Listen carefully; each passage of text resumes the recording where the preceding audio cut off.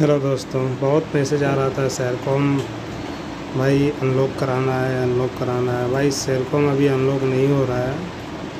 But process same है। सबसे पहले आपको रीसेट करना होगा इसी तरह। जैसे और भी राउटर को आप रीसेट करते हैं। इसमें रीसेट करने के बाद जो लाइट होता है ना, वो ऑटोमेटिक पूरा बंद होने के बाद फिर से चालू हो जाएगा। जिस तरह इसमें चालू हो रहा है। देखिए, ये कलरफुल जो लाइट नहीं कर रहा है। समझिए पूरा का पूरा रीसेट हो गया है। अब इसमें करना क्या है कि आपको लॉगिन करना है उसी तरह। जिस तरह आप अदर राउटर आईपी एड्रेस से लॉगिन करते हैं। One nine two dot one six eight dot one dot one इससे आपको लॉगिन करना है। तो अभी हमारा राउटर रीसेट हुआ है, जिसके कारण थोड़ा सा टाइम लग रहा है। इसके टाइम होने के बाद ही ये रीसेट कंप्लीट होने के बाद ही ये लॉगिन होगा।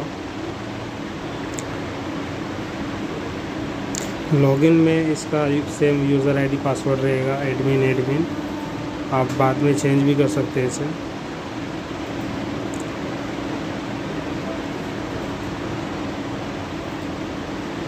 तो भाई अभी तक रीसेट कंप्लीट नहीं हुआ है, जिसके कारण लॉगिन पेज भी ओपन नहीं हो रहा है। तो अब रीसेट कंफर्म होने के रीसेट कंप्लीट होने के बाद, अब इसमें यूज़र आईडी एडमिन और पासवर्ड भी एडमिन लिखेंगे और इसे लॉगिन करेंगे।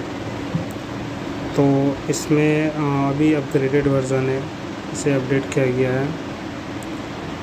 पहले 2.7 था, अब इसमें देखते हैं कितना है 3.2 वर्ज़न का इसमें डाला हुआ है। तो फ़िलहाल अभी इसे अनलॉक नहीं किया जा रहा है और ना ही अभी अनलॉक हो रहा है।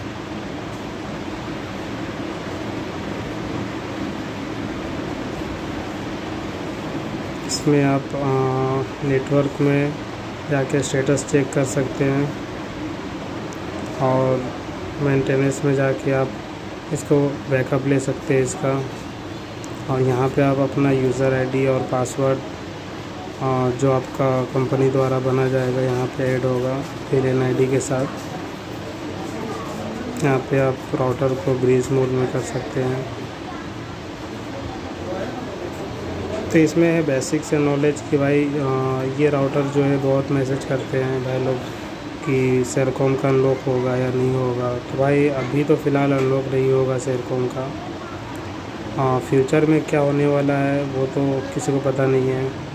एक से एक बंदा है, जो इसका अपडेट अपडेट आएगा वैसा ही यूट्यूब में ऑलरेडी अपलोड हो जाएगा। तो भाई ये मैंने अनलॉक नहीं किया है।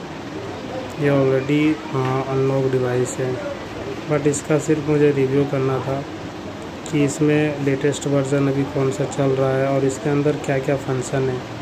तो जितना भी राउटर ये सबसे पहला बात है, ये डुअल बैंड का है राउटर बहुत ही स्मूथ और बहुत ही फास्ट चलता है। ये ऑटो ऑटो चेंजेस आता है इसमें, अगर किसी का mobile two point four G में काम कर रहा है तो उस पर भी बहुत अच्छा काम करता है और जिसका फाइव जी सपोर्ट करता है, उसमें भी बहुत अच्छा काम करता है।